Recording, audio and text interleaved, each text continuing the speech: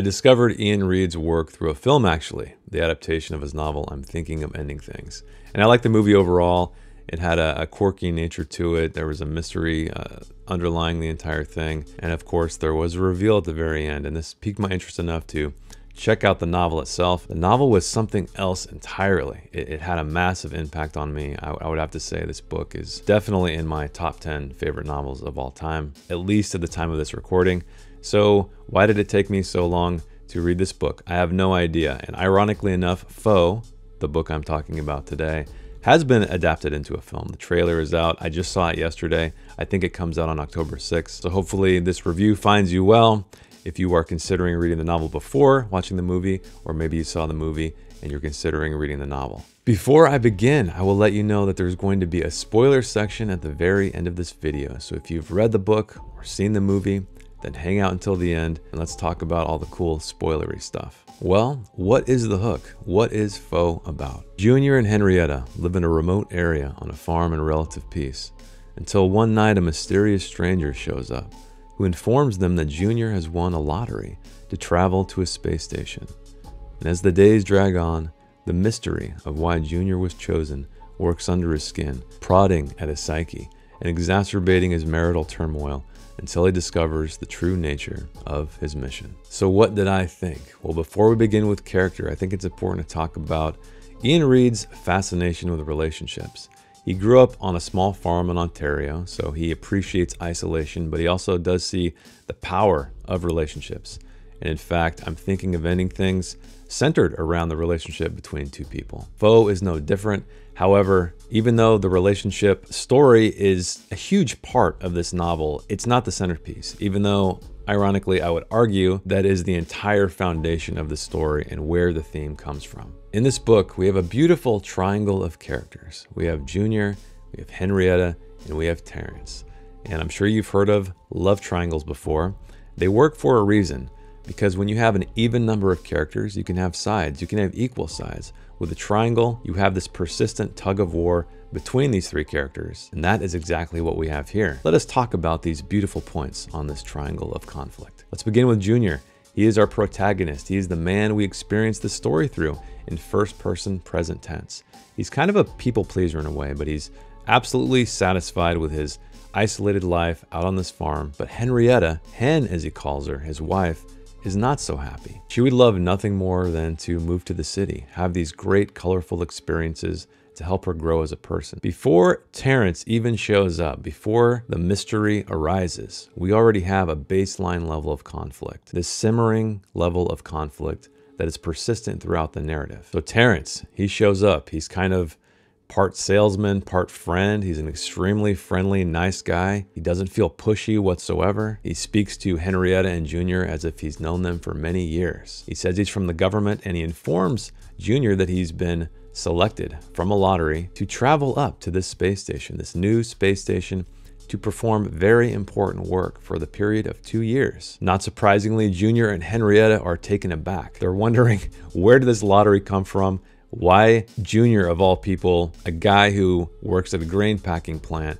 would be chosen to go up to this space station and do whatever it is the hell that they want him to do. And so this simmering tension that Iain Reid creates with the marital problems between Junior and Henrietta starts to rise, right? It's compounded by the tension and the mystery that Terrence brings, which creates a beautiful triangle of conflict, as I mentioned. And so the character work in here is is fantastic. You get deep in the psyche of Junior, but you also definitely feel Henrietta. And you're always questioning Terrence and his motivation. Is this all an illusion? Is this some kind of ruse? Because while this story takes place in the near future, the science fiction elements are never thrown at you. There's no jargon, there's no flying spaceships that are passing over this canola field. It feels very much like a normal story about two or three people in a farmhouse in a remote location, not tied to any kind of science fiction setting. Another theme that came to mind was governmental control, because Terrence says he is sent by the government, and this mission is not voluntary whatsoever.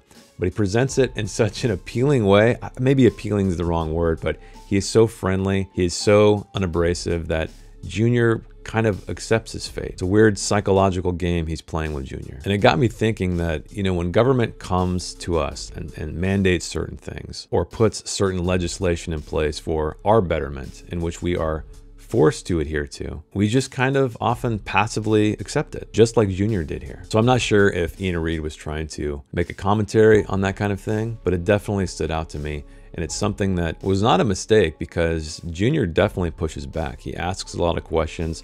He feels like he's trapped. So it was a familiar scenario when you see a populace at large kind of just giving in to the government because, again, they assume that they know what is best for us. Let us talk about plot next, and this plot is extremely simple. Henrietta and Junior live alone on this farm until Terrence shows up to give them this news. But what is Henrietta going to do if she's all alone while Junior is away on the space station for two years? Well, Terrence has an answer for that, and this is not a spoiler because it is in the book description.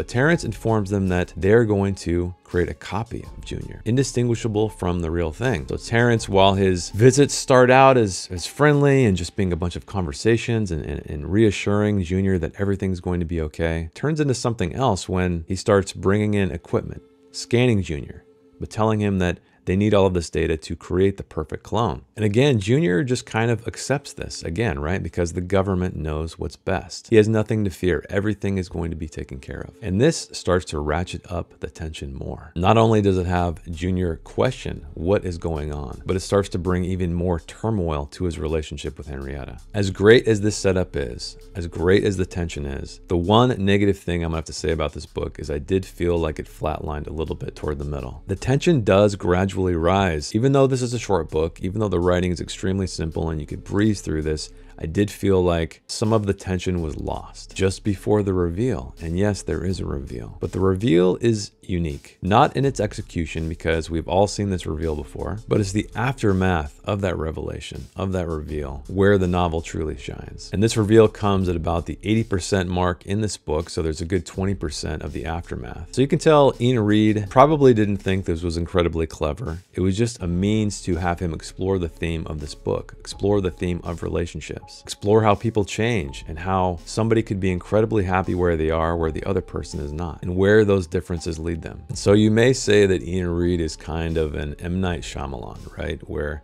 he is known for his twist. He is known for his reveal, but Shyamalan's twists don't have the emotional weight. They do not have the thematic weight that Iain Reid's do. Shyamalan's feel like more of a reveal for the audience, something to make them gasp, something to look back at all the breadcrumbs that they missed and maybe rewatch the movie all over again through different eyes. Iain Reid uses his reveals, his twists to enhance the themes, to bring out the themes of the story, which make them so much more powerful. And don't worry, he does lay all the breadcrumbs perfectly. This does not feel like a rug was tugged out from under you when the reveal happens. And while some of you may feel disappointed when it gets to that point, please stick with the book because that again is where the story really shines. All right, let us talk about the writing itself, or as I like to call it, the cinematography of the novel.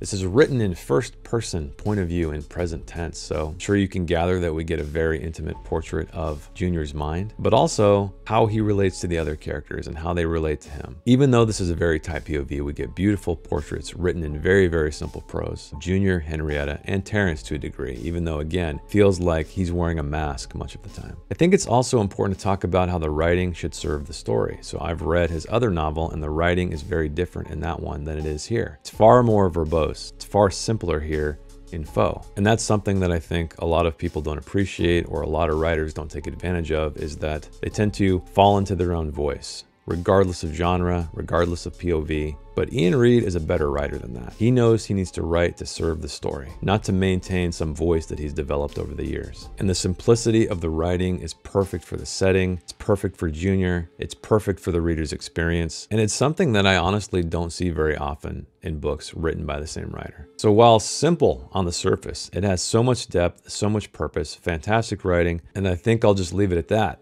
which is why I'm going to give Iain Reid's Foe an 8 out of 10. A simple story with a small cast of characters with so much depth, and a plot that is deliberately paced with a searing tension that will bring you all the way into the end until the dramatic reveal. But a reveal that is far more than just for the reader's surprise, because it reveals the theme itself. And a theme we can all relate to, a story that will stick with you for a very long time, so go read this book. It's fantastic. Like I said, the only downside for me is it felt like a little bit too long. It felt like the tension definitely dipped a little bit down toward the midpoint, but that is a small, small gripe. I, I highly encourage you to check this book out. That is it for the review. I hope you enjoyed it. If you did, let me know with a like and let me know, did you read the book? Did you enjoy it? Are there things I missed? But if you did read the book, stick around. I'm going to talk about spoilers very shortly. But for the rest of you out there, thanks for hanging out with me. Thanks for watching, and I will see you in the next one. Bye.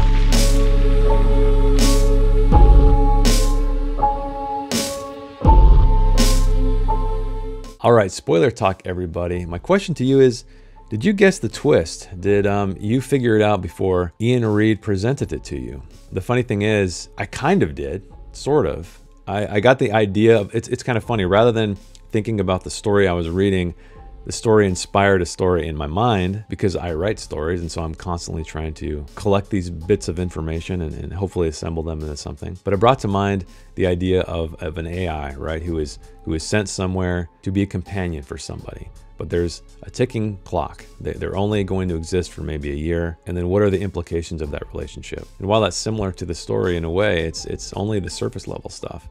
The beauty of this novel is how Iain Reid gave you everything Terrence was giving you all of the information you needed. Granted, it was the inverse of what he was saying, but it was all true. There was a copy. However, Junior, the man we experienced, or, or the robot we experienced the story through, was that copy. And so that's such an interesting thing to think that everything was really all already out there in the open. Because with mysteries, we're always trying to figure out what is the writer not telling me? What do I need to come to my own conclusions with? Whereas everything was out center stage. Granted, we didn't know that Junior was the copy and he wasn't the real Junior who was being scanned to create a copy, but still it was all out there. Now the names Junior and Henrietta because he's calling her Hen, I think said a lot about the characters and a lot about the themes of the story. Junior was wearing what he was in his name, right? Even though the real Junior was named Junior, he was the copy of Junior. He was the son of Junior. He was the junior of Junior. And then Hen, I think that's obvious, is that Hen was kind of the, the mother hen, forced to stay at home while her husband was off doing some kind of work on a space station, even though she wanted nothing more than to Go out and experience the world. Go live in a city. Go see beautiful things. And that's the greatest thing about this book is it's so relatable. You know, we're all in we've all been in relationships or are in relationships and so we can completely relate to to the struggle here, the, the turmoil between these two people that want different things. One who doesn't understand how the other one can't want what they want and vice versa. And so they're at a standstill. The entire plot is just kind of upended when Terrence shows up. Also, if you think about soldiers who go away to war, and they leave their wives at home and they're both living very different lives and the wife is kind of expected to just hold down the fort essentially until the husband comes home or, or doesn't come home so i got i got definite vibes in that regard too the ultimate beauty of this book is after the reveal is the last 20% when Henrietta gets to switch. She gets to go experience life, experience all these beautiful things she's wanted to, rather than being cooped up on this farm. But Junior doesn't notice it. He doesn't notice it because